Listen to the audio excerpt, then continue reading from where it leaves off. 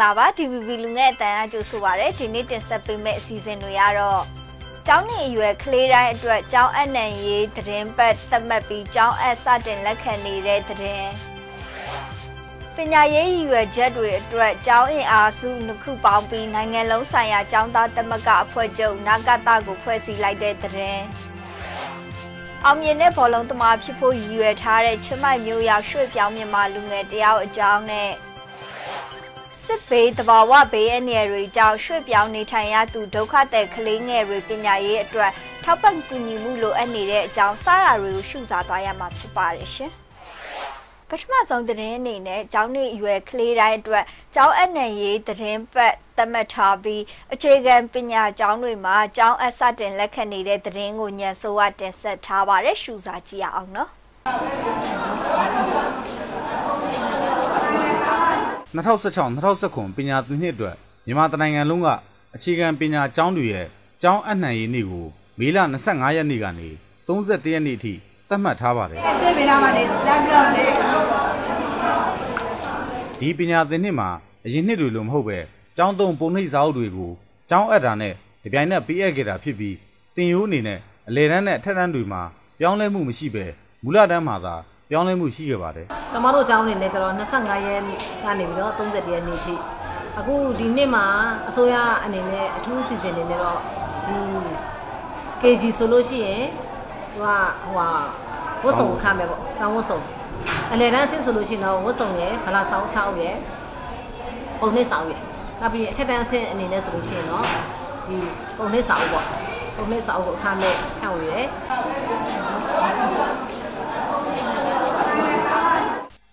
ကလေးနှစ်ယောက်ပါ6တန်းနဲ့6တန်းနဲ့ပါ။ဘာတွေခက်ခဲရှိလဲဘာမှတော့အခက်အခဲမရှိပါဘူးအကုန်လုံးအဆင်ပြေပါတယ်။ဘာတွေပေးရသေးလဲဘာမှမပေးရပါဘူး။ကျောင်းကတော့ဘာတွေပြန်ပေးတယ်သူတို့ကိုရှိကပုံနှိပ်စာအုပ်တစ်စုံပြန်ပေးပါ။ကျောင်းပြောင်းကျင်တဲ့ကျောင်းသူကျောင်းသားတွေအတွက်ကျောင်းပြောင်းလက်မှတ်ကိုအလွယ်တကူထုတ်ပေးပြီး KG တန်းစတင်အပ်မဲ့ကျောင်းသူကျောင်းသားတွေအနေနဲ့ငွေစည်းနဲ့နေထိုင်ရာနေရာကိုသိရှိဖို့အတွက်အိမ်အောင်စုစည်းရင်းတွေလိုအပ်ပါတယ် ဟုတ်ကဲ့ဒီနေ့ကျွန်တော်တို့2016 2019ပညာသင်တဲ့မှာတော့ကျွန်တော်ကလေးဘာမှအခက်အခဲမရှိပါဘူးခင်ဗျ။မိဘအနေနဲ့ရောဘာတွေခက်ခဲရှိလဲဘာအခက်အခဲမရှိပါဘူးခင်ဗျ။အဲ့တော့ကျောင်းကရောကျောင်းကိုရောဘာဝန်ဆောင်မှုတွေပေးရတယ်ကိုလိုနေတာအာဝန်ဆောင်မှုမပေးရပါဘူးခင်ဗျဆရာဆရာဆရာမတွေလည်းအားလုံးအားလုံးပြုံးမှုရွှင်ရွှင်နဲ့ဒီလိုရွှင်ရွှင်နဲ့ပါခင်ဗျ။ဟုတ်ကဲ့ကျောင်းကရောကလေးအတွက်ဘာတွေပေးလဲအာအခုကျောင်းပုံနေစာအုပ်ပေါ့ခင်ဗျ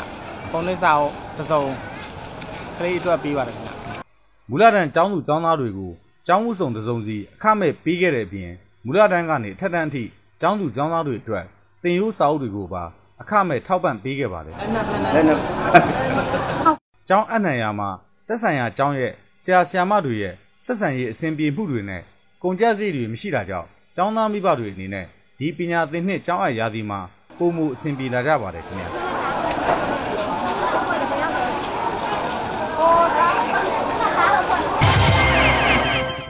ညာရေးနဲ့ပတ်သက်ပြီးရည်ရွယ်ချက်လှုပ်ဆောင်ချက်တွေတူညီမှုအရာကျောင်းသားအင်အားစုနှစ်ခုဖြစ်တဲ့တာကတာနဲ့မြေလက်ဘာကတာတို့ပူးပေါင်းပြီးနာကတာဆိုတဲ့နိုင်ငံလုံးဆိုင်ရာကျောင်းသားသမဂ္ဂအဖွဲ့ချုပ်ကိုဖွဲ့စည်းလိုက်ပါတယ်ဒီသတင်းကိုကောင်းထက်ကျော်ကတင်ဆက်ထားပါတယ်ရှုစားကြည့်ရအောင်နော် ပညာရေးနဲ့ကျောင်းသားတို့ခွင့်ရေးအတွက်တက္ကသိုလ်ကျောင်းသားများတမကတာကာတာနဲ့ဗမာနိုင်ငံလုံးဆိုင်ရာကျောင်းသားတမကအဖွဲ့ချုပ်မြေလက်ဒေသတို့ပူးပေါင်းပြီးနိုင်ငံလုံးဆိုင်ရာကျောင်းသားတမကအဖွဲ့ချုပ်နာကာတာကိုဖွဲ့စည်းလိုက်ကြောင်းမေလ25ရက်နေ့ကထုတ်ပြန်ကြေညာလိုက်ပါတယ်ဒီမိုကရေစီပညာရေးမှုဒီမိုကရေစီပညာရေးလို့ကြောင့်ဥဆောင်ကော်မတီဆိုတာလေကျွန်တော်တို့တပိတ်ကာလာအတွင်းတုန်းကတပိတ်ရဲ့ဥဆောင်ကော်မတီပါအဲ့တော့အဲဒါပေမဲ့တပိတ်ကာလာကလောဆယ်မှာ ကျွန်တော်တို့တည်ချင်ထားတဲ့အဲဘာသာမဖွဲ့ချုပ်ဘက်ကတပိတ်ကြီးပေါက်ထားတဲ့ဖြစ်တယ်ဆိုတော့ကျွန်တော်တို့အနေနဲ့ဒီမိုကရေစီပညာရေးလို့ကြောင့်ဥဆောင်ကော်မတီစတောင်းတယ်ကျွန်တော်တို့ကျွန်တော်ကအကယ်၍နိုင်ရှိတယ်ကတ်တည်းနိုင်ရှိတယ်အတင်မှုမှုပဲယူဆောင်ဖွဲ့ပြမှုကျွန်တော်ရှိနေတယ်အဲ့တော့ရှိနေတဲ့အတွက်ကျွန်တော်တို့ကရှေ့ဆက်သွားနိုင်မှုတွေမှာကျွန်တော်တို့ဘာလို့ဘယ်သူနဲ့ပူးပေါင်းဆောင်ရွက်လို့ရမယ်ဆိုတော့ကျွန်တော်တို့အာချိန်ညှိပြီးတော့ကျွန်တော်တို့ဟိုနိုင်ငံလုံးဆိုင်ကျွန်တော်တို့အားကိုချုပ်ဖွဲ့ပြီးတော့ဆက်သွားတာပါအမကရုံးတဲ့အနေနဲ့ရပြီးတော့ သမရဦးထင်းကျော်ဦးဆောင်တဲ့ဆိုအပ်တဲ့ရဲ့ပြုပြင်ပြောင်းလဲမှုတွေပညာရေးပြုပြင်ရေးရက်တရာအတွင်းမှာပညာရေးဝန်ကြီးဌာနပူးပေါင်းဆောင်ရွက်ဆရာရှိတာတွေကိုကျောင်းသားတွေအနေနဲ့လှုပ်ဆောင်သွားမယ်လို့သိရပါတယ်အဲ့ဒီတမန်ကြီးနဲ့တွေ့ရင်တော့အဓိကကျွန်တော်တို့ဒီရတက္ကသိုလ်ချာတာတွေနဲ့ပတ်သက်ပြီးတော့ပေါ့နော်ချာတာတွေနဲ့ပတ်သက်ပြီးတော့ဝင်ကြီးဝင်ကြီးဖက်ကသူတို့ဘာတွေလုပ်နေတယ်ဆိုတာကိုပြောမယ်ကျွန်တော်ဖက်ဘာတွေလုပ်အပ်တယ်ဆိုတော့ကျွန်တော်ပြောမယ်ပြီးတော့လို့ရှိရင်တက္ကသိုလ်ကျောင်းသားတမကားတွေ ရှင်သန်ဖွံ့ဖြိုးရေးနဲ့ပတ်သက်ပြီးတော့ကျွန်တော်တို့ဘက်ကပြောစရာရှိတယ်ပြောမယ်သူတို့ဘက်ကလည်းကျွန်တော်တို့ပြောစရာရှိတယ်ပြောမယ်ပြီးရင်ဝင်ပညာရေးဝန်ကြီးနဲ့ကျွန်တော်ကျောင်းသားတမကိုင်းနဲ့ဘယ်လိုပူးပေါင်းပြီးတော့လက်တွဲလုပ်ကိုင်လို့ရမလဲဆိုတဲ့အပိုင်းကိုကျွန်တော်တို့ရှားကြမယ်စဉ်းစားကြမယ်ဟုတ်ကဲ့ကျောင်းသားကိုယ်စားလှယ်28ယောက်ပါဝင်တဲ့နဂါသရဲ့အဓိကရည်ရွယ်ချက်ကအစိမ့်မြင့်ပညာရေးဥပဒေရေးဆွဲရေးနဲ့ပတ်သက်တာတွေကျောင်းသားသမဂ္ဂအဆောက်အုံပြန်လည်တည်ဆောက်ရေးတက္ကသိုလ်ဗြိဉ္ဉံရေးဆွဲရေးစတာတွေကိုပြုလုပ်ဖို့ပါဝင်ပါတယ် အဲ့ကိစ္စနဲ့ပတ်သက်လို့ကအဆင့်ပညာရေးကိစ္စတွေကျွန်တော်ဆက်ပြီးဆွေးနွေးရလိမ့်မယ်ပညာရေးဝန်ကြီးနဲ့တွေ့တဲ့အခါမှာနောက်ထပ်ကျတော့ဟိုကျွန်တော်တို့ရဲ့လက်ရှိကျောင်းသားသမဂ္ဂကိစ္စတွေပေါ့အဓိကအပြင်ကျောင်းသားသမဂ္ဂကိစ္စတွေပြီးတော့အဲ့ကိစ္စတွေကျွန်တော်ဆွေးနွေးမယ်လို့ကျွန်တော်တို့ရည်ရွယ်ထားတယ်ဟိုဘာလို့လဲဆိုတော့ကျွန်တော်တို့ကျောင်းသားသမဂ္ဂတွေကဥပဒေထဲမှာတော့မပါဘူးဥပဒေထဲမှာမပါတဲ့ဂျာကာလာဆက်ကြားမှာလက်ရှိအစိုးရအနေနဲ့ကျွန်တော်တို့ကျောင်းသားသမဂ္ဂတွေအတွက်ချက်တိကွန်လှုပ်ရှားခွင့်ကိုဘယ်အတိုင်းတာထိပေးထားနိုင်မလို့ဟို ကျွန်တော်တို့ဘက်ကလည်းသူတို့ကိုလက်ရှိအနေထားတွေဘယ်အတိုင်းတာထိပြန်လည်ပြီးတော့ကူညီနိုင်မလို့ဆိုတော့ကိစ္စမျိုးတွေအများကြီးရှိတာအဲအကြောင်းလို့ကျွန်တော်ကကူညီလဲကူညီမယ်ကျွန်တော်တို့တောင်းဆိုချက်တွေကိုလည်းကျွန်တော်တောင်းဆိုတော့ရရှိတယ်အဲ့လိုပုံစံမျိုးနဲ့ကျွန်တော်တော့န ဂါသဖွဲ့စည်းခြင်းရှေးလုပ်ငန်းစဉ်တွေနဲ့ပတ်သက်ပြီးသတင်းစာရှင်းလင်းပွဲတစ်ခုကိုမေလ25ရက်နေ့ကရန်ကုန်မြို့မှာပြုလုပ်ပြီးဩဂုတ်လအတွင်းမှာပြုလုပ်မဲ့ចောင်းသားညီလာခံနဲ့လာမယ့်ရက်ပိုင်းအတွင်းမှာပညာရေးဝန်ကြီးဌာနဖိတ်ကြားချက်အရပညာရေးပြည်ထောင်စုဝန်ကြီးနဲ့တွဲဆုံမှုကိစ္စတွေကိုရှင်းလင်းပြောကြားသွားပါတယ်ခင်ဗျာကိုထင်လင်းသူရေနံချောင်း degree college ကိုပိုင်စီရဲနောက်ရေနံချောင်းစက်မှုလက်မှုသိပ္ပံကိုအောင်လူကို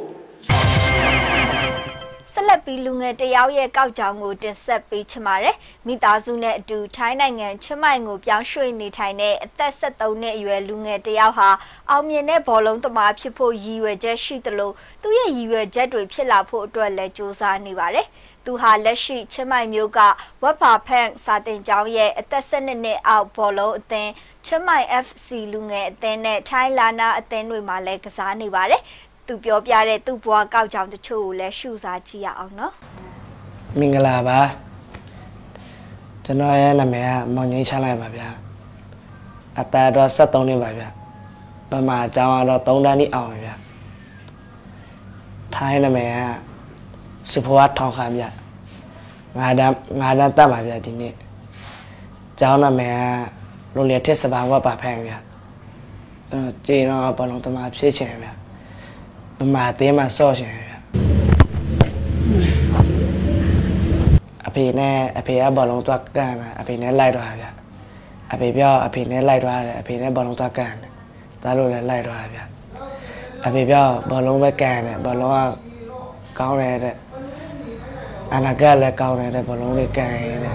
အဲကနေပဲဘောလုံးကနေစကန်ဗျကျွန်တော်အသက်ရှင်းနေတော့လေစိတ်ဝင်စားဗျ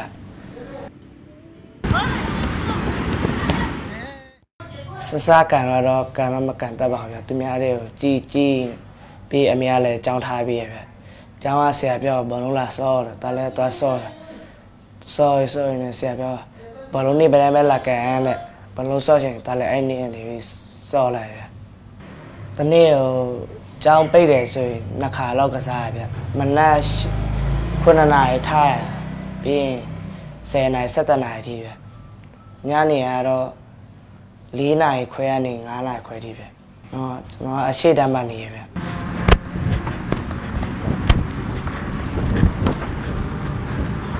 အော်အစိုးအကြီးတွေက၄၅ခါရဘူးဗျ။ဒါက2014ကလည်းနေရတာဗျ။အရှိတမ်းအကောင်းဆုံးစူးရလာဗျ။ကျွန်တော်ဘလုံးအကြိုက်ဆုံးပဲဗျ။အသက်15နှစ်14နှစ်မှအမေမပုတ်တင်ပြန်လုပ်ပေးမယ်။အမေပြောပါမှပြင်မယ်ပြန်လာဆော့ရတယ်။ဟို လူဆိုမွေးတာတဲ့လူဘယ်သူမှမတော်ပဲကိုစူးစားရကိုရမယ်ဒါတွေပဲဒီနေ့စပြီးကျွန်တော်တို့လည်းဒိုးတက်မယ်ဒီနေ့နေ့တိုင်းပဲဘလုံးလေးကျင့်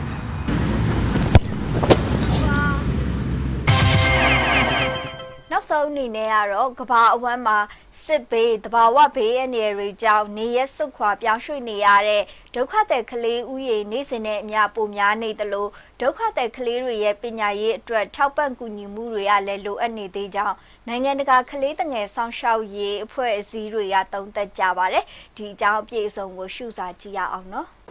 ကဘာနဲ့မှာတန်းလက်ချီတဲ့ဒုက္ခတဲ့ကလေးသူငယ်တွေဟာစစ်ဘေးတဘာဝဘေးအန္တရာယ်တွေကြောင့်ကြောင်းတက်နိုင်ဖို့အခွင့်အရေးတွေဆုံးရှုံးနေရတယ်လို့ ထောက်ပံ့ကူညီမှုတွေလည်းလိုအပ်နေစေဖြစ်ကြောင်းကလေးသူငယ်ဆိုင်ရာ NGO အဖွဲ့တွေကအစ္စတန်ဘူမြို့မှာပြုလုပ်နေတဲ့နိုင်ငံတကာလူသားချင်းစာနာထောက်ထားမှုဆိုင်ရာထိပ်တည်ညီလာခံမှာဆွေးနွေးနေကြပါတယ်။ ပဋိပက္ခဖြစ်ပွားရာဒေသတွေကကလေးသူငယ်တွေဟာပညာရေးအခွင့်အလမ်းဆုံးရှုံးမှုအပြင်လူကုန်ကူးမှုအန္တရာယ်နဲ့ရင်ဆိုင်နေရတာလည်းတူရကီနိုင်ငံမှာနေရတာပြုလုပ်နေတဲ့အဲ့ဒီညီလာခံရဲ့ဆွေးနွေးစရာတစ်ခုဖြစ်နေပါတယ် The conflicts that we see in the world today including the Syrian conflict are disastrous for children ပဋိပက္ခဖြစ်ပွားရာဒေသတွေဥပမာဆီးရီးယားလိုနေရာမျိုးပေါ့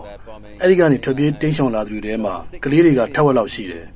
တန်း60လောက်ဒုက္ခသည်တွေထဲမှာ ကလေးငယ်တန်း30လောက်ပါတယ်လူကြီးတွေနဲ့မတူတာကဒီကလေးတွေမှာပညာရေးဆုံးရှုံးရတဲ့အပြင်လူကုန်ကူးမှုအနိုင်ကျင့်ခံရမှုနဲ့တခြားဘေးဒုက္ခတွေပါကြုံနေရပါတယ်ကုလသမဂ္ဂအထူးကိုယ်စားလှယ်ဂေါ်ဒန်ဘရောင်းကပြည်ပကဒေတာတွေမှာပညာရေးအခွင့်အလမ်းချို့တဲ့နေရတဲ့ကလေးငယ်တွေအတွက် 3.8ဘီလီယံနဲ့စတင်တဲ့ရန်ပုံငွေတစ်ခုကိုမေလ23ရက်နေ့ကထုတ်ပြန်လိုက်ပါတယ်။ဒီရန်ပုံငွေဟာကလေးငယ်တွေနဲ့လူငယ်73တန်းကိုနောက်ထပ်9နှစ်အတွင်းကူညီထောက်ပံ့သွားဖို့ရည်ရွယ်ပါတယ်။ One of the things we can do to help these girls is to give ပညာရေးဆိုတာစာသင်ခန်းထဲမှာစာအုပ်တွေထဲမှာပဲသင်ယူနေရတဲ့အရာမဟုတ်ပါဘူးဒီကလေးတွေကိုအတိတရားရှိစေဖို့ငငယ်ရွယ်ရွယ်နဲ့အိမ်တော်မကြဖို့ အနိုင်ကျင့်ခံရမှုကင်းဝေးဖို့ကလေးအလုတ်သမားလူကုန်ကူးမှုအန်ဒီရတွေကနေအကာအကွယ်တစ်ခုပါပဲအထူးသဖြင့်မိဘတွေနဲ့အတူမရှိတဲ့ဒုက္ခတဲ့ကလေးတွေမှာအကာအကွယ်ပိုပြီးလိုအပ်ပါတယ်သူတို့တွေကိုမိဘတွေကမကာကွယ်နိုင်ရင်နိုင်ငံတကာလူမှုအတိုင်းဝိုင်းတွေကကာကွယ်ပေးရပါလိမ့်မယ်ဒုတိယကမ္ဘာစစ်ပြီးနောက်ပိုင်းအဆိုးအဝါးဆုံးလူသားချင်းစာနာမှုဆိုင်ရာအခြေအနေတွေကိုလက်ရှိကြုံတွေ့နေရတယ်လို့ကုလသမဂ္ဂထွေထွေတွင်းရေးမှူးဘက်ကီမွန်ကဒီညီလာခံမှာပြောကြားသွားပါတယ်။ စစ်ဘေးတဘာဝဘေးအန္တရာယ်တွေကြောင့်နေရစွန့်ခွာရွှေ့ပြောင်းနေထိုင်သူတွေထဲမှာကလေးသူငယ်တထောင်လောက်ပျောက်ဆုံးနေကြောင်းဥရောပသမဂ္ဂရဲတပ်ဖွဲ့ရဲ့ဒီနေ့စီရင်ခံစာမှာဖော်ပြထားပါတယ်ခင်ဗျာ။